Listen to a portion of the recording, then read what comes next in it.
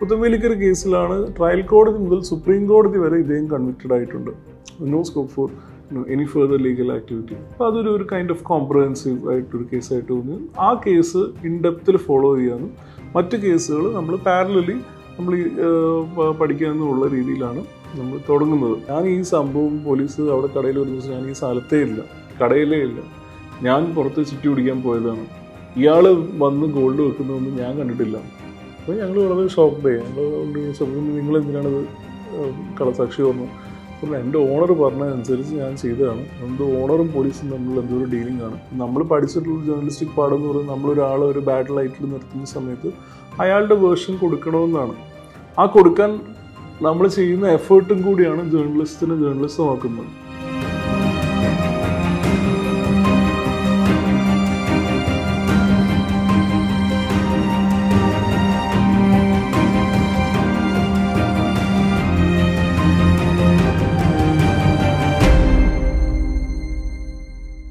കഴിഞ്ഞ വർഷം ഈ ഏകദേശം ഈ സമയത്ത് നാഷണൽ ലോ യൂണിവേഴ്സിറ്റിയുടെ കീഴിലുള്ള പ്രൊജക്ട് തേർട്ടി നയൻ എന്ന് പറഞ്ഞിട്ടുള്ള ഒരു വിഭാഗം അവർ കൊടുത്തൊരു ഫെലോഷിപ്പ് വർക്കിന്റെ ഭാഗമായിട്ടാണ് ഞാൻ ഈ സ്റ്റോറിയിലേക്ക് എത്തുന്നത്. പ്രൊജക്ട് തേർട്ടി നയൻ എ എന്ന് പറയുന്നത് ഇന്ത്യയിലെ ഡെത്ത് പെനാൽറ്റി കിട്ടിയ ആൾക്കാരെ പറ്റി റിസർച്ച് ചെയ്യാനും അവർക്ക് ആവശ്യമെങ്കിൽ അവർ വളരെ മാർജിനലൈസ്ഡ് ആയിട്ടുള്ള കമ്മ്യൂണിറ്റി പെടുന്ന ആളാണെങ്കിൽ അവർക്ക് ലീഗൽ എയ്ഡ് പ്രൊവൈഡ് ചെയ്യാനും ഉള്ളൊരു ഒരു വിഭാഗമാണ്. അപ്പോൾ അത് വിദേശ രാജ്യത്തൊക്കെ അത് വളരെ പ്രബലമായിട്ടുള്ള അങ്ങനത്തെ കുറേ ഓർഗനൈസേഷൻസ് ഉണ്ട്. ഇവിടെ ആദ്യമായിട്ടായിരുന്നു അവരൊരു ജേർണലിസ്റ്റിനെ ഒരു കേസിന്റെ റിസർച്ചുമായിട്ട് ബന്ധപ്പെട്ട് ചെയ്യാൻ വേണ്ടിയിട്ട് ഫെലോഷിപ്പ് കൊടുത്ത് വിളിച്ചത്. അപ്പോൾ ഇതിന്റെ ഒരു ഉദ്ദേശം എന്ന് പറഞ്ഞാൽ ഈ കേസിൽ റിപ്പർ ജയാനന്ദന്റെ കേസിൽ അവർ റിപ്പർ ജയാനന്ദനുമായിട്ട് സംസാരിക്കുകയും അവരുടെ അതിന്റെ ജഡ്ജ്മെന്റ്സ് പരിശോധിക്കുകയൊക്കെ ചെയ്തപ്പോൾ അവർക്ക് തോന്നി ഇതിനകത്ത് എന്തൊക്കെയോ ചില പോരായ്മകൾ ഉള്ളതായിട്ട് അവർക്ക് ഫീൽ ചെയ്തു. സാധാരണഗതിയിൽ അവർ ഇന്ത്യയിലെ എല്ലാ ഡെത്ത് പെനാൽറ്റി കൺവിക്സിനെ പറ്റിയിട്ടും ഇതുപോലെ പ്രൊഫൈൽ ഉണ്ടാക്കി വെച്ചിട്ടുണ്ട്. ജഡ്ജ്മെന്റ് ബേസ്ഡ് ആയിട്ടുള്ള പ്രൊഫൈൽ ഉണ്ടാക്കി വെച്ചിട്ടുണ്ട്. ഈ കേസിൽ അവർ ഒരു തുടക്കം എന്ന രീതിയിൽ അവർക്ക് ഇതുപോലെ എല്ലാ കേസുകളും ചെയ്യണമെന്നുണ്ട്. ഒരു തുടക്കം എന്ന രീതിയിൽ ഈ ജഡ്ജ്മെന്റിന് പുറമെ എന്താണ് ആക്ച്വലി സംഭവിച്ചിരിക്കുന്നത്? അപ്പോൾ അതിനൊരു ജേർണലിസ്റ്റ് ഇതിന്റെ പിന്നാലെ പോയാൽ നന്നായിരിക്കും അവർ തോന്നിയും. അങ്ങനെയാണ് ഞാൻ ഈ കേസിൽ വരുന്നത്. അപ്പോൾ ഞാൻ തുടക്കം വന്ന സമയത്ത് എനിക്ക് ആദ്യം ഉണ്ടായിരുന്നൊരു ബുദ്ധിമുട്ട് എത്ര കേസുകളാണ് ഇയാളുടെ മുകളിലുള്ളത്? ഇപ്പം മറ്റ് കേസുകളൊക്കെ മാറ്റി വെച്ച് മർഗ കേസുകൾ മാത്രം എടുത്തു നോക്കിയാൽ എത്ര കൊലപാതക കേസുകളാണ് ഇദ്ദേഹത്തിന് മുകളിലുള്ളത്? ആ കേസുകളിലൊക്കെ ലീഗൽ ജേണി ഇപ്പോൾ ഇദ്ദേഹം അറസ്റ്റിലായിട്ട് ഒരുപാട് കാലമായി. അപ്പോൾ എന്തൊക്കെയായിരുന്നു ആ കേസുകളുടെ ലീഗൽ ജേണി അതിന്റെ ഫാക്ട്സ് എന്തൊക്കെയാണ്? നമുക്ക് ആ ഒരു പോയിന്റിൽ നിന്ന് ആണ് നമ്മൾ സ്റ്റാർട്ട് ചെയ്യുന്നത്. അപ്പോൾ അദ്ദേഹത്തിന്റെ കേസുമായി ബന്ധപ്പെട്ട ഫയലുകൾ പല സ്ഥലത്തു നിന്ന് നമ്മൾ സോഴ്സ് ചെയ്യുന്നു. ഒരു ഒരു പ്രൊജക്ട് തേർട്ടി നയൻ എ തന്നെ ഇയാൾക്ക് വേണ്ടിയിട്ട് എൻഗേജ് ചെയ്തിട്ടുണ്ടായിരുന്നു. ഒരു ലോയർ കുറച്ച് ഫയലുകൾ കളക്ട് ചെയ്ത് വെച്ചിട്ടുണ്ടായിരുന്നു. അപ്പോൾ ആ ഫയലുകളിൽ നിന്ന് നമ്മൾ തുടങ്ങുന്നു. അങ്ങനെ നമുക്ക് ഒരു രണ്ടായിരത്തി പതിനാലിൽ കേരള പോലീസ് കേരള ഹൈക്കോടതിയിൽ ഫയൽ ചെയ്തൊരു അഫിഡവിറ്റ് കിട്ടുകയാണ്.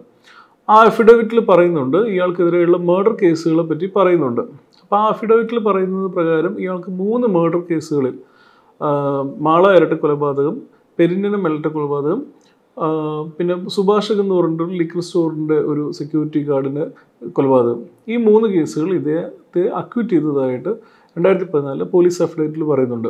അപ്പോൾ അന്നത് വായിച്ചപ്പോൾ എനിക്ക് കുറച്ച് സർപ്രൈസ്ഡ് ആയിട്ട് തോന്നി. കാരണം ഇദ്ദേഹത്തെ പറ്റിയിട്ടുള്ള മീഡിയ റിപ്പോർട്ടുകളിൽ ഇദ്ദേഹത്തെ പറ്റിയിട്ടുള്ള യൂട്യൂബ് സ്റ്റോറികൾ എല്ലാം ഈ പറയുന്ന ഈ മൂന്ന് കേസുകൾ പരാമർശിക്കുകയും ആ കേസുകൾ അദ്ദേഹം ശിക്ഷിക്കപ്പെടുകയും ചെയ്തതായിട്ടൊക്കെ പറഞ്ഞിട്ടുണ്ട്. പക്ഷെ ഇവിടെ കേരള പോലീസ് തന്നെ പറയുന്നു അദ്ദേഹം ആ കേസുകളിൽ അക്യൂറ്റ് ചെയ്യപ്പെട്ടു. അങ്ങനെ നമ്മൾ പിന്നെയും അന്വേഷിച്ച് നോക്കിയ സമയത്ത് അദ്ദേഹത്തിനെതിരെ വീണ്ടും മൂന്ന് കേസുകൾ നമുക്ക് കണ്ടെത്താൻ പറ്റി.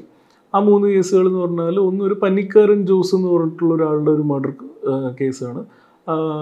രണ്ട് പുത്തൻവേലിക്കരയിൽ ദേവകി എന്ന് പറഞ്ഞിട്ടുള്ള ഒരാൾ ഒരു സ്ത്രീയുടെ മർഡർ കേസ് മൂന്നാമത്തേത് ഒരു ഏലിക്കുട്ടി എന്ന് പറഞ്ഞിട്ടുള്ള പ്രായമായിട്ടുള്ള ഒരു സ്ത്രീയുടെ മർഡർ കേസ് അപ്പോൾ ഈ മൂന്ന് കേസിൽ ഞങ്ങൾ നോക്കിയ സമയത്ത് ഇതിൽ പന്നിക്കാരൻ ജോസിന്റെ കേസിൽ ഇയാൾ ചാർജ് ചെയ്തിട്ടില്ല. പിന്നെയുള്ളത് പുത്തൻവേലിക്കര കേസും ഏലിക്കുട്ടി കേസും. അപ്പോൾ പുത്തുവേലിക്കര കേസിൽ കൺവിക്റ്റഡ് ആയിട്ടുണ്ട്. അദ്ദേഹം കൺവിക്റ്റഡ് ആയി അതിന് ട്രയൽ കോടതി ഡെത്ത് പെനാൽറ്റി കൊടുക്കുകയും ഡെത്ത് പെനാൽറ്റി കൊടുത്തിട്ട് ഹൈക്കോടതിയിൽ എത്തി റെഫർ ചെയ്ത സമയത്ത് ഹൈക്കോടതി അതിനെ കമ്മ്യൂട്ട് ചെയ്ത് life imprisonment without scope of പരോളാക്കി supreme കോടതി അതിനെ life imprisonment with twenty years ആക്കി. അത് കഴിഞ്ഞ് ഏലിക്കുട്ടി കൊലപാതകം. അപ്പോൾ ഏലിക്കുട്ടി കൊലപാതകം ഞങ്ങൾ നോക്കിയപ്പോൾ അത് ട്രയൽ കോടതി വേർഡിക്റ്റ് ആയിട്ടായിരുന്നു. ഞങ്ങൾ ചോദിച്ചു ഇപ്പം അപ്പോൾ ടോട്ടൽ ഞങ്ങൾ കയ്യിൽ ഇദ്ദേഹത്തെ ചാർജ് ചെയ്തിട്ടുള്ള ഇദ്ദേഹം ട്രയലിന് പോയിട്ടുള്ള കേസുകളിൽ ഒരു ഏകദേശ രൂപം കിട്ടി. അതായത് അഞ്ച് കേസുകൾ മൊത്തം ചാർജ് ചെയ്ത് ട്രയലിൽ പോയിട്ടുള്ള അഞ്ച് കേസുകൾ അതിൽ മൂന്നെണ്ണം അദ്ദേഹം അക്യൂറ്റഡ് ആണ്. രണ്ടെണ്ണം കൺവിക്റ്റഡ് ആണ്. ആ രണ്ടെണ്ണത്തിൽ തന്നെ എലിക്കുട്ടി കേസ് ഞങ്ങൾ വിചാരിച്ചു അത് അത് ഇനിയും അപ്പീൽ പോകാൻ സാധ്യതയുള്ളൊരു കേസാണ് ഹൈക്കോടതിയിലോ സുപ്രീം കോടതിയിലോ ഒക്കെ അപ്പീൽ പോകാൻ സാധ്യതയുള്ളൊരു കേസാണ് അപ്പം പിന്നെയുള്ളത് പുത്തൻവേലിക്കര കേസാണ്. റെസ്റ്റ് ആ റിമൈനിങ് ആയിട്ടുള്ള അഞ്ചാമത്തെ കേസ്. പുത്തൻവേലിക്കര കേസിലാണ് ട്രയൽ കോടതി മുതൽ സുപ്രീം കോടതി വരെ ഇദ്ദേഹം കൺവിക്റ്റഡ് ആയിട്ടുണ്ട്. No scope for any further legal activity അപ്പോൾ അതൊരു ഒരു കൈൻഡ് ഓഫ് കോംപ്രഹെൻസീവ് ആയിട്ടൊരു കേസായിട്ട് തോന്നി ആ കേസ് ഇൻ ഇൻഡെപ്തിൽ ഫോളോ ചെയ്യാനും മറ്റ് കേസുകൾ നമ്മൾ പാരലലി നമ്മൾ പഠിക്കാമെന്നുള്ള രീതിയിലാണ് നമ്മൾ തുടങ്ങുന്നത്. അങ്ങനെ തുടങ്ങിയ സ്ഥലം പുത്തൻവേലിക്കര കേസിൽ വേറെ ഒരു ഒരു വളരെ ക്രൂഷ്യൽ ആയിട്ടുള്ള ഒരു ഒരു ഒരു ഇതെന്താണെന്ന് വെച്ചിട്ടുണ്ടെങ്കിൽ പുത്തൻവേലിക്കര കേസിലാണ് ഇദ്ദേഹം ആദ്യമായിട്ട് അറസ്റ്റിലാവുന്നത്. പുത്തമ്പേലിക്കര കേസിൽ അറസ്റ്റിലായി. അതിന്റെ കൺഫെഷനിൽ അദ്ദേഹം മറ്റ് കേസുകളെ പറ്റിയിട്ട് മറ്റ് മർഡർ ചെയ്തതിനെ പറ്റിയിട്ട് പറയുകയും ആ മർഡർ എല്ലാം ഈ കേസുകളായിട്ട് വരികയും അങ്ങനെ ഇയാളുടെ പേരിൽ ആറേഴ് കേസുകൾ വന്നു എന്നുള്ളതാണ് പോലീസ് തിയറി. അപ്പോൾ ആ രീതിയിലും പുത്തമ്പേലിക്കര വളരെ സിഗ്നിഫിക്കന്റ് ആണ്. അങ്ങനെ പുത്തൻവേലിക്കര ഞങ്ങൾ ഈ പറയുന്ന ഫോക്കസ് ചെയ്ത് പഠിക്കാൻ തീരുമാനിക്കുകയും അതിന്റെ ജഡ്ജ്മെന്റ് പഠിക്കുകയും കാര്യങ്ങൾ നോക്കുവാണ് ഇതിന്റെ തുടക്കം. അപ്പോൾ അതിന്റെ ഭാഗമായിട്ട് ഫസ്റ്റ് ചെയ്യുന്നൊരു കാര്യം എന്ന് പറയുന്നത് ഈ കേസുമായിട്ട് ബന്ധമുള്ള കഴിയുന്നത്ര ആൾക്കാർ നമ്മൾ നേരിട്ട് പോയി കോണ്ടാക്ട് ചെയ്ത് സംസാരിക്കുക എന്നുള്ള രീതിയിലാണ്. അപ്പോൾ അതിൽ ആദ്യം ജയാനന്ദനായിട്ട് തന്നെ അപ്പോൾ ഇതിൽ ഈ കേസുമായിട്ട് ബന്ധപ്പെട്ട് ഒരുപാട് മീഡിയ സ്റ്റോറീസും ഒരുപാട് യൂട്യൂബ് സ്റ്റോറീസും ഒരുപാട് കഥകൾ അവിടെ ഇവിടെയൊക്കെ പരക്കുന്നുണ്ട്. പക്ഷെ അതിലൊന്നും ഞാൻ ഇയാളുടെ ഒരു വേർഷൻ കാണുന്നില്ല. നമ്മൾ പഠിച്ചിട്ടുള്ള ജേർണലിസ്റ്റിക് പാഠം എന്ന് പറയുന്നത് നമ്മളൊരാളെ ഒരു ബാഡ് ലൈറ്റിൽ നിർത്തുന്ന സമയത്ത് അയാളുടെ വേർഷൻ കൊടുക്കണമെന്നാണ്.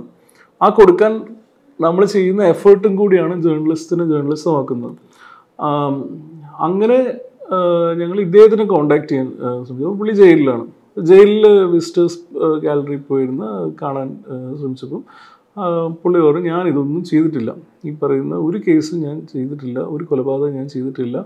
എന്നെ ഫ്രെയിം ചെയ്താണ്. എന്നിട്ട് പിന്നെ പുള്ളി കുറേ ഡീറ്റെയിൽസ് പറഞ്ഞു. ആ ഫ്രെയിം ചെയ്തതിനെ പറ്റിയിട്ടുള്ള കസ്റ്റഡിയൽ ടോർച്ചറിനെ പറ്റിയിട്ടും ഫേക്ക് എവിഡൻസിനെ പറ്റിയിട്ടും ഒക്കെ കുറേ കാര്യങ്ങൾ പറഞ്ഞു. ബട്ട് ഓഫ് കോഴ്സ് നമ്മൾ ഇതിനു മുമ്പ് നമ്മൾ ക്രിമിനൽ കേസ് പ്രതിയായിട്ടുള്ള ആൾക്കാരോടൊക്കെ സംസാരിക്കുമ്പോൾ ആരും ഞാനൊരു കൊലപാതകം ചെയ്ത ആളാണെന്ന് പറയുന്ന ആൾക്കാർ വളരെ വിരളമായിരിക്കും.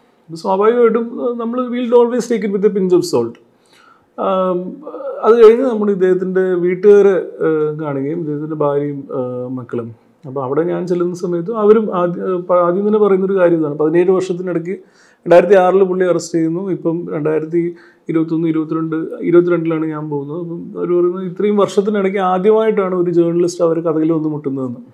അങ്ങനെ അവിടെ അവരുമായിട്ട് സംസാരിക്കുന്ന സമയത്ത് അവർ അവരുടെ ഒരു വേർഷൻ പറഞ്ഞു. ഇതേ വളരെ നോർമലായിട്ടൊരു ഒരു ഒരു മീൻപിടുത്തമൊക്കെ ആയിട്ട് നടന്നുകൊണ്ടിരുന്ന ഒരു നോർമൽ ഫാമിലി മാൻ. വളരെ ലോ മിഡിൽ ക്ലാസ് ആയിട്ടുള്ള കാശിന് ബുദ്ധിമുട്ടുള്ള കുറേ കടവും കടപ്പിടിയൊക്കെ ഉള്ള ഒരു കക്ഷി. അതാണ് അവരുടെ വേർഷൻ. എന്നിട്ട് ഒരു സുപ്രഭാതത്തിൽ ഇദ്ദേഹത്തിനെ പോലീസ് പിടിച്ചുകൊണ്ട് പോയതായും പോലീസ് പിന്നെ അതിനുശേഷം പിന്നെ ഇവരെ അദ്ദേഹത്തിനെ കണ്ടിട്ടില്ല. പിന്നെ അവരറിയുന്നത് അദ്ദേഹം ഒരുപാട് കൊലപാതകം ചെയ്ത ഒരു വ്യക്തിയാണെന്ന് മീഡിയ പറയുന്നതായിട്ടാണ്. പിന്നെ കേസുകൾ വരുന്നു. കേസിന്റെ ഭാഗമായിട്ട് കോടതി പോകുന്നു. അങ്ങനെ കാര്യങ്ങൾ. അപ്പം നമ്മൾ ഇതിന്റെ ലീഗലി എന്തൊക്കെയാണ് ഈ ഫാമിലി ഇയാൾക്ക് വേണ്ടി ചെയ്തത് ലീഗലി നിങ്ങൾ കാര്യങ്ങൾ കൃത്യമായിട്ട് ചെയ്തിരുന്നത് നിങ്ങൾ കോടതിയിൽ പോയിട്ട് ഈ പറയുന്ന അതിന്റെ നിങ്ങളുടെ ഭാഗത്തു നിന്ന് എന്തെങ്കിലും എവിഡൻസ് കൊടുക്കുക അയാൾക്ക് ഈ കേസുമായിട്ട് ബന്ധമില്ല എന്ന് നിങ്ങൾ പറയുന്നു അതിനെന്തെങ്കിലും എവിഡൻസ് ഒക്കെ കൊടുത്തിരുന്നു. നിങ്ങളുടെ വക്കീൽ എങ്ങനത്തെ ആളായിരുന്നു എന്നൊക്കെ പറയുമ്പോഴാണ് അവൾ അവർ ഇദ്ദേഹത്തിന്റെ ഭാര്യ വളരെ ട്രാജിക്കായിട്ടൊരു ഇൻസിഡന്റ് പറയുന്നു. ഭാര്യയ്ക്ക് ഒരു ഒരു വക്കീലിന്റെ അടുത്ത് നിന്ന് സമ്മാനിച്ച ഒരു ഒരു വക്കീലിന്റെ അടുത്ത് നിന്ന് കിട്ടിയ ഒരു അപമാനം പറയുന്നു. അപ്പോൾ അതോടുകൂടി ഈ ഭാര്യ വളരെ ട്രോമറ്റൈസ്ഡ് ആവുകയും ആ ഭാര്യ പിന്നീട് കോടതി പോകുന്ന നിർത്തുകയാണ് ചെയ്യുന്നതാണ് അവരുടെ വേർഷൻ. അതിനുശേഷം ഈ അദ്ദേഹം അത് ഈ ഭാര്യ ഇത് ഭർത്താവായ ജയാനന്ദനായിട്ട് സംസാരിച്ചപ്പോൾ ജയാനന്ദൻ പറഞ്ഞത് നിങ്ങൾ വക്കീലിന്റെ അടുത്ത് കാണാൻ പോകണ്ട കോടതിയിലേക്ക് വരണ്ട. വന്ന് നിങ്ങൾക്ക് ഇനിയും ചിലപ്പോൾ ഇങ്ങനെയുള്ള ഇൻസിഡൻസ് ഉണ്ടായാലോ എന്നുള്ള പേടിച്ചിട്ട് അവർ പോയിട്ടില്ല. അതോടുകൂടി എഫക്റ്റീവ്ലി അദ്ദേഹത്തിന്റെ ലീഗൽ ഡിഫൻസ് എന്ന് പറയുന്ന ഒരു തരത്തിൽ സീറോ ആവുകയാണ്. അപ്പം അപ്പോഴും നമ്മൾ ഇത് എന്താ പറയുക ഒരു വളരെ we have to take it with a pinch of salt കാരണം അവർ അതിനകത്തൊരു പാർട്ടിയാണ് അവർക്കൊരു സ്റ്റേക്ക് ഉള്ളതാണ്. അവരുടെ സ്റ്റോറിയിൽ അവർ വളരെ ക്രിമിനലാണ് കുറ്റവാളിയാണെന്ന് അവർ പറഞ്ഞോളണമെന്നില്ല. സോ അഗെയിൻ നമ്മൾ ഇതിന്റെ വിക്ടിമിന്റെ റിലേറ്റീവ്സിനെ കാണാൻ പോവുകയും ആ വില്ലേജിലെ അന്ന് സാക്ഷി കൊടുത്തിട്ടുള്ള ആൾക്കാരുടെ ഒരു ലിസ്റ്റ് തയ്യാറാക്കി. ഇദ്ദേഹത്തിന് ഡയറക്റ്റ്ലി ഈ ക്രിം ഈ ഈ ക്രൈമുമായിട്ട് ലിങ്ക് ചെയ്യുന്ന ഒരു ആറേഴ് വിക്ടിംസിന്റെ ഒരു വിറ്റ്നസസിന്റെ ലിസ്റ്റ് തയ്യാറാക്കി. എന്നിട്ട് അവരെ നമ്മൾ ആ വില്ലേജ് പുത്തമ്പേലിക്കരയാണ് ആ ആൾക്കാരുള്ളത്. ആ ആൾക്കാരെ കാണാൻ വേണ്ടി പുത്തമ്പേലിക്കര പോകുന്നു. ആദ്യമായിട്ട് നമ്മൾ ഈ ഒരു വിക്ടിംസിന്റെ വിക്ടിമിന്റെ ദേവകി എന്ന് പറഞ്ഞ മരണപ്പെട്ട സ്ത്രീയുടെ ഒരു റിലേറ്റീവിനെ പോയി കാണുന്നു. അപ്പോൾ അവിടെ വന്നാണ് ആ റിലേറ്റീവ് നമ്മളെടുത്തിട്ട് വളരെ വളരെ സർപ്രൈസിങ് ആയിട്ടൊരു കാര്യം പറയുന്നത്. അത് അത് വളരെ കാഷ്വൽ ആയിട്ടാണ് അത് പറയുന്നത് പോലും. അത് ഞങ്ങളിങ്ങനെ ഒരു ഒരു ഗോൾഡ് ഞങ്ങളെടുത്ത് നിന്ന് ഈ കൊലപാതകത്തിന് സമയത്ത് നഷ്ടപ്പെട്ടിരുന്നതും ആ നഷ്ടപ്പെട്ട ഗോൾഡ് പിന്നീട് ജയാനന്ദൻ ഒരു പോൺ ഷോപ്പിൽ നിന്ന് ഒരു ഇങ്ങനെ ജ്വല്ലറിയൊക്കെ പണയം വെച്ച് പൈസ കൊടുക്കുന്ന ഒരു കട ചിട്ടി കമ്പനിയൊക്കെ ആയിട്ട് നടക്കുന്ന ഒരു കട. അവിടുന്ന് അത് പണയം വെച്ചിരുന്നെന്നും ആ പണയം വെച്ച സ്വർണം പിന്നീട് ജയനന്ദൻ അവിടെ തന്നെ വിൽക്കുകയായിരുന്നെന്നും ആ വിറ്റ സ്ഥലത്ത് നിന്ന് പിന്നീട് ആ സ്വർണം റിക്കവർ ചെയ്ത് കോടതിയിൽ കൊണ്ടുവന്ന് കാണിച്ചു എന്നാണ് പോലീസിന്റെ വേർഷൻ അപ്പോൾ നമ്മൾ ഇത് ഫോളോ ചെയ്യുന്നതെല്ലാം പോലീസിന്റെ വേർഷനാണ് ഫോളോ ചെയ്തിട്ടാണ് നമ്മളിവിടേക്ക് ഇവരുടെ അടുത്തൊക്കെ സംസാരിക്കുന്നത്. അപ്പോൾ ഞാനിങ്ങനെ അവരോട് ചോദിച്ചു നിങ്ങൾ ആ ജ്വല്ലറി നിങ്ങൾക്ക് കളഞ്ഞു പോയ ജ്വല്ലറി തന്നെയാണോ നിങ്ങൾക്ക് തിരിച്ചു കിട്ടിയത്? അപ്പോൾ അവർ പറഞ്ഞു അത് അങ്ങനെയല്ല. ഞങ്ങൾക്ക് കളഞ്ഞു പോയ ജ്വല്ലറി ആയിരുന്നില്ല ഞങ്ങൾക്ക് തിരിച്ച് കാണിച്ചത് കോടതിയിൽ എവിഡൻസ് ചെയ്തത്. അത് പോലീസ് ഞങ്ങളോട് പറഞ്ഞു അത് ആ ജ്വല്ലറി ഈ പറയുന്ന ആൾ ജ്വല്ലറിക്കാരൻ അത് ഉരുക്കിപ്പോയി അതുകൊണ്ട് ആ ജ്വല്ലറി പക്ഷെ ഒരുക്കിയ സ്വർണം കോടതി കാണിച്ചാൽ കേസ് നിലനിൽക്കില്ല. അതുകൊണ്ട് ഞങ്ങളൊരു ജ്വല്ലറി കാണിക്കും. നിങ്ങളത് നിങ്ങൾക്ക് നഷ്ടപ്പെട്ട സ്വർണമാണെന്ന് പറയണം എന്ന് പോലീസുകാരൻ ഇവരെടുത്ത് പറഞ്ഞത്രേ. അപ്പോൾ അതിന്റെ അടിസ്ഥാനത്തിൽ ഇവർ അങ്ങനെ തന്നെ ചെയ്യുകയും ചെയ്തു. അപ്പോൾ നമ്മൾ ഇവരോട് ചോദിക്കുന്നുണ്ട് നിങ്ങൾ അതെന്താ ഞാൻ ചെയ്തത്? അപ്പോൾ നിങ്ങൾക്ക് എന്ത് ഉറപ്പാണുള്ളത് നിങ്ങൾ പോയ സ്വർണം ഇയാളാണ് എടുത്തതെന്ന് എന്ത് ഉറപ്പാണുള്ളത് കാരണം അയാളത് എടുത്ത് കൊണ്ട് വെച്ചെങ്കിലല്ലേ നിങ്ങൾക്ക് ഇത് തിരിച്ച് എടുക്കുന്ന സമയത്ത് അതേ സ്വർണമാണെങ്കിൽ നിങ്ങൾക്ക് ഉറപ്പുള്ളൂ. അയാൾ തന്നെയാണ് കൊണ്ടുവച്ചതെന്നുള്ളത് അപ്പോൾ അവർ പറയുന്നത് വളരെ കാഷ്വലായിട്ട് അവർ പറഞ്ഞു അത് അതിലിപ്പോൾ എന്താ ഇത്ര സംശയിക്കാൻ? എല്ലാവരും പറയുന്നുണ്ടല്ലോ അയാളാണ് ചെയ്തതെന്ന്. അത് അന്നത്തെ മീഡിയ എല്ലാം അയാളെ പേര് പറഞ്ഞതല്ലേ പിന്നെ എന്തിനാണ് ഇപ്പം നമ്മളെന്തിനാണ് സംശയിക്കുന്നത്? അവൻ തന്നെയാണ് ചെയ്തത്. എന്നാണ് അവരുടെ ഒരു റിപ്ലൈ ഉണ്ടായിരുന്നത്. അപ്പോൾ നമുക്കൊരു ഒരു കൈൻഡ് ഓഫ് അതായത് ഒരു ഫസ്റ്റ് ഈ കേസിൽ ഞങ്ങൾക്ക് ഉണ്ടായ ഒരു ഒരു കൈൻഡ് ഓഫ് സർപ്രൈസിങ് ആയിട്ടുള്ള ഒരു ഒരു നമുക്ക് വേണമെങ്കിൽ ഒരു ഒരു വിള്ളൽ എന്നൊക്കെ പറയാം. നമുക്ക് പോലീസ് തിയറിയുടെ മുകളിൽ ഇത് ഒരു ഒരു ഒരു വിള്ളൽ എന്ന് പറയാം. അപ്പോൾ ഞങ്ങൾ തീരുമാനിച്ചു എന്തായാലും ബാക്കിയുള്ള വിറ്റ്നസ്സസിന് എന്താ പറയാനുള്ളതെന്നും കൂടി നമ്മൾ നോക്കണം. അപ്പം ഈ ജ്വല്ലറിയിലെ സ്റ്റാഫ് ആക്ച്വലി ഇദ്ദേഹം വന്നതായും കണ്ടതായി ഇദ്ദേഹത്തിന് കണ്ടതായും ഈ ജനതം വന്ന് സ്വർണം വെക്കുന്നത് കണ്ടു. ഇത്രാം തീയതി ഇന്ന സമയത്ത് വന്നു എന്നെല്ലാം പറയുന്നുണ്ട് കോടതിയിൽ. അപ്പോൾ ഈ ഇദ്ദേഹം ഇത് പറഞ്ഞ സമയത്ത് ഈ ഈ റിലേറ്റീവ് ഇത് പറഞ്ഞ സമയത്ത് ഞങ്ങൾക്ക് ഉണ്ടായ അടുത്ത ഡൗട്ട് എന്ന് പറയുന്നത് ഇത് അപ്പോൾ എങ്ങനെയാണ് ഈ ജ്വല്ലറിയിൽ ആൾ ഇത് കണ്ടത്? ജ്വല്ലറിയിൽ ആൾ കണ്ടത് ഒരു സ്ട്രോങ് എവിഡൻസ് ആണല്ലോ. ഇനി ഒരു പക്ഷേ അയാൾ കൊണ്ട് വെച്ചു അത് ഒരുക്കിപ്പോയി എന്നൊക്കെ പോലീസ് പറയുന്നത് ശരിയാണെന്ന് ഇരിക്കട്ടെ ജ്വല്ലറിയിൽ ആൾ ഇയാൾ കണ്ടിട്ടുണ്ടെങ്കിൽ അതൊരു സ്ട്രോങ് എവിഡൻസ് അല്ലേ? അറ്റ്ലീസ്റ്റ് ജയനന്ദൻ ആ ജ്വല്ലറിയിൽ ഈ പണയ സ്വർണവും ഈ കളവ് പോയ സ്വർണവുമായിട്ട് ചെന്നു എന്നുള്ളത് ഒരു സ്റ്റോളം പ്രോപ്പർട്ടീസ് ഒരു പൊസിഷൻ ഉണ്ടായിരുന്നതിനുള്ള തെളിവല്ലേ? അങ്ങനെ ഞങ്ങൾ വളരെ കഷ്ടപ്പെട്ട് അതിന്റെ ജ്വല്ലറിയിൽ അന്ന് വർക്ക് ചെയ്തിട്ടുണ്ടായിരുന്ന ആളെ കണ്ടുപിടിച്ച് അയാളോട് സംസാരിച്ചു. അയാൾ അയാൾ വളരെ ഒരു സൗമ്യനായിട്ടുള്ള മനുഷ്യൻ. അദ്ദേഹം ഞങ്ങൾ ഒരു കസേര എടുത്ത് ഞങ്ങൾ സംസാരിച്ചു. ഞാൻ പറഞ്ഞു ഇത് ഇങ്ങനെ ഈ കേസുമായിട്ട് ബന്ധപ്പെട്ട് അന്വേഷിച്ച് വന്നതാണ്. എന്താണെന്ന് സംഭവിച്ചതെന്ന് അറിയാൻ വേണ്ടിയിട്ടാണ്. അപ്പം നിങ്ങൾ അയാളെ കണ്ടു എന്ന് കോടതിയിൽ ഇങ്ങനെ വിറ്റ്നസ് കൊടുത്തതായിട്ട് കണ്ടു. ജഡ്ജ്മെന്റ് ഭാഗമായിട്ട് ഈ ഡെപ്പോസിഷൻ സ്റ്റേറ്റ്മെന്റ്സ് ഉണ്ട്. ആ ഡെപ്പോസിറ്റ് സ്റ്റേറ്റ്മെന്റ്സ് നിന്നാണ് നമുക്ക് ഈ ഇൻഫർമേഷൻ എല്ലാം കിട്ടുന്നത്. പക്ഷേ ആ ഡെപ്പോസിറ്റ് സ്റ്റേറ്റ്മെന്റ്സ് വെച്ച് നമുക്ക് ഒരാളെ കണ്ടുപിടിക്കാൻ ട്രേസ് ചെയ്യാൻ വളരെ ബുദ്ധിമുട്ടായിരുന്നു. കാരണം ഡെപ്പോസിറ്റ് സ്റ്റേറ്റ്മെന്റിൽ ആകെ ഒരാളുടെ പേജും ഒരാളുടെ പേരും ഏജും റിലീജിയൻ നിങ്ങൾക്ക് ഭാഗ്യം ഉണ്ടെങ്കിൽ അയാൾ ഏത് നാട്ടുകാരനാണെന്നുള്ളതും അല്ലെങ്കിൽ എവിടെയാണ് വർക്ക് ചെയ്യുന്നതെന്നുള്ളതും ഇത്രയും ഡീറ്റെയിൽസ് ആ ഡെപ്പോസിഷൻ സ്റ്റേറ്റ്മെന്റിൽ ഉണ്ടാവുള്ളൂ. അവിടുന്ന് വേണം നമ്മൾ ഇയാളെ പതിനേഴ് വർഷങ്ങൾക്ക് ശേഷം കണ്ടുപിടിക്കാൻ. അപ്പോൾ ഞാൻ അയാളോട് ഇങ്ങനെ ചോദിച്ചപ്പോൾ പുള്ളി പറഞ്ഞു എന്റെ പൊന്നു സാറേ അങ്ങനെ ഒരു സംഭവമേ ഉണ്ടായിട്ടില്ല. പോലീസ് എന്റെ ഞാനെടുത്ത് എന്റെ അടുത്ത് വന്നിട്ട് ഇത് ചോദിക്കുകയും ഞാനവിടെ പറയും ഞാൻ ഈ സംഭവം പോലീസ് അവിടെ കടയിൽ ഒരു ദിവസം ഞാൻ ഈ സ്ഥലത്തേ ഇല്ല കടയിലേ ഇല്ല. ഞാൻ പുറത്ത് ചുറ്റി പിടിക്കാൻ പോയതാണ്. ഇയാൾ വന്ന് ഗോൾഡ് വെക്കുന്നതൊന്നും ഞാൻ കണ്ടിട്ടില്ല. അപ്പോൾ ഞങ്ങൾ വളരെ ഷോക്ക്ഡായി ഞങ്ങൾ വിളിച്ചപ്പോൾ പിന്നെ നിങ്ങൾ എന്തിനാണിത് കളസാക്ഷി കള്ളസാക്ഷി പറഞ്ഞു പറഞ്ഞു എന്റെ ഓണർ പറഞ്ഞതനുസരിച്ച് ഞാൻ ചെയ്തതാണ്. എന്തോ ഓണറും പോലീസും തമ്മിൽ എന്തോ ഒരു ഡീലിംഗ് ആണ്. ഓണർ കുറച്ചൊരു ഒരു ഷെയ്ഡി ആയിട്ടുള്ളൊരു കക്ഷിയായിരുന്നു എന്നാണ് ഈ പറയുന്ന സ്റ്റാഫ് പറയുന്നത്. കാരണം അവർ സ്വർണമൊക്കെ പണയത്തിന് വേണ്ടി എടുത്തിട്ട് അവർ മറ്റൊരു ബാങ്ക് കൊണ്ടുപോയിട്ട് ഇത് വീണ്ടും റീപ്ലേസ് ചെയ്യുന്നു അത്രേ അപ്പോൾ ഈ സ്റ്റാഫ് പറയുന്ന പ്രകാരം ഇതിപ്പോൾ ഈ ഈ ഈ കടയുടെ ടൈമിംഗ് തന്നെ അപ്പുറത്ത് നിൽക്കുന്ന ആ ബാങ്കിന്റെ ടൈമിങ്ങുമായിട്ടാണ് സിങ്ക്ഡാണ് അപ്പോൾ ഒരാൾ വന്ന് സ്വർണം പണയം വെച്ച സ്വർണം തിരിച്ചെടുക്കാൻ വേണ്ടി ഒരാൾ വന്നിട്ടുണ്ടെങ്കിൽ അയാൾക്ക് കുറച്ച് നേരം വെയിറ്റ് ചെയ്യേണ്ടി വരും. കാരണം ഈ സ്റ്റാഫിന് അപ്പുറത്തെ ബാങ്ക് പോയിട്ട് അത് എടുത്തിട്ട് വേണം ഇയാൾക്ക് തിരിച്ചുകൊണ്ട് കൊടുക്കാൻ. അത് ഒരു ഷേഡി ആയിട്ടുള്ള ഡീലിങ്സിനെ പറ്റിയിട്ടൊക്കെ പറയുന്നുണ്ട്. അങ്ങനെ അവസാനം ആ ചിട്ടി കമ്പനി പൊളിയും അതിന്റെ ഓണർ മരിച്ചു പോയി അടുത്ത് മരിച്ചു പോവുകയൊക്കെ ചെയ്യും. അപ്പം ഞങ്ങൾക്ക് ഞങ്ങൾക്ക് പിന്നെ വേറെ ആ ഓണറോട് ചോദിക്കാനുള്ള നിവൃത്തിയില്ല. എന്താണ് സംഭവിച്ചതെന്നുള്ളത്. അപ്പോൾ അതൊരു ഒരു ഒരു സെക്കൻഡ് വലിയൊരു റെവല്യൂഷൻ ആവുമായിരുന്നു. പിന്നെ ഈ സ്വർണം ഈ ഫാമിലിക്ക് പുറമേ ഐഡന്റിഫൈ ചെയ്തിട്ടുള്ള ഒരേ ഒരു ലേഡി എന്ന് പറയുന്നത് ഇവരുടെ ഒരു നെയ്ബർ ആയിട്ടുള്ള ഒരു ഒരു ലേഡിയാണ്. ഈ മരിച്ചുപോയ സ്ത്രീയുടെ ഒരു നെയ്ബറും ഒരു ഫ്രണ്ടും ഒക്കെയാണ് ആ ലേഡി. അപ്പോൾ അവരോട് ഞങ്ങൾ ഇതുപോലെ പോയി സംസാരിച്ചപ്പോൾ അവരും പറഞ്ഞു അത് ബേബി ചേച്ചി അവർ ദേവകീനെ ബേബി എന്നാണ് അവർ നാട്ടിൽ വിളിക്കാറുണ്ടായിരുന്നത്. ബേബി ചേച്ചി ഉപയോഗിച്ചിരുന്ന സ്വർണമേ അല്ലായിരുന്നു അത്.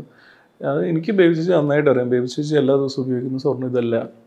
ഇത് തന്നെയാണ് ഇവർ കോടതിയിലും പറഞ്ഞത് ആക്ച്വലി. പക്ഷെ കോടതിയിൽ അപ്പോൾ അവർ പറഞ്ഞു അവരെ ആക്ച്വലി വീട്ടുകാരും ആ ഫാമിലിയും പോലീസും ഒക്കെ ട്യൂട്ടർ ചെയ്തിട്ടുണ്ടായിരുന്നു.